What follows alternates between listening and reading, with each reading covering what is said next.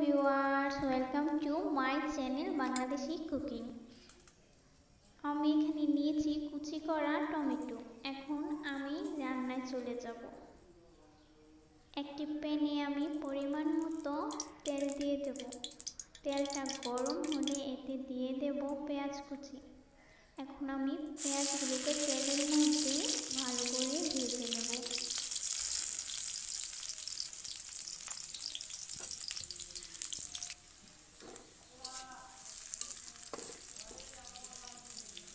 এখন আমি এখানে দিয়ে দেব তিনটি আস্ত কাঁচা মরিচ। কাঁচা মরিচগুলো দেওয়ার পর আমি এখানে একসাথে দিয়ে দেব মটরশুঁটি। এখন এগুলোতে আমি ভেজে নেব। এতে কুচি করা টমেটোগুলো দিয়ে দেব।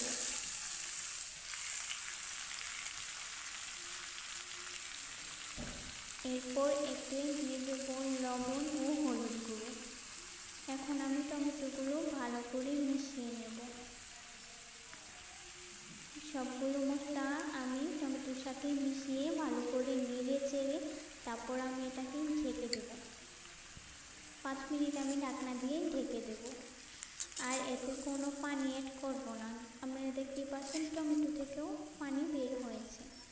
এখন ভালো করে নেড়ে চেড়ে রান্না করব যাতে নিচে লেগে না যায় এরপর লাস্টে আমি ধনিয়া পাতা অ্যাড করব।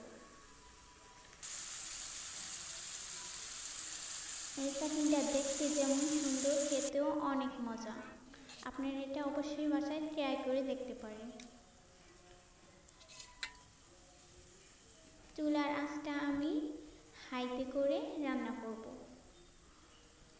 আমার আজকের এই রেসিপিটি যদি আপনাদের ভালো লেগে থাকে, তাহলে লাইক কমেন্ট করতে ভুলবেন না এবং অবশ্যই সাবস্ক্রাইব করবেন।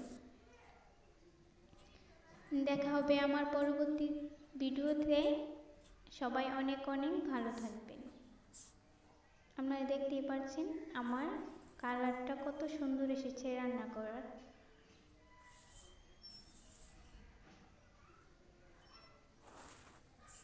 সবাই সাবস্ক্রাইব করতে ভুলবেন না। অনেক অনেক ভালো থাকে